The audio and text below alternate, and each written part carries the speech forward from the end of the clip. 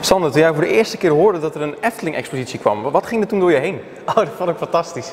Ja, dat is eigenlijk nog nooit geweest dat we buiten de context van het park, eh, uh, 70 jaar Efteling, uh, daar een dwarsdoorsnede van aan het publiek laten zien. Dus uh, nee, we waren ontzettend trots vooral en vereerd dat het Noord-Brabants Museum dit initiatief genomen heeft.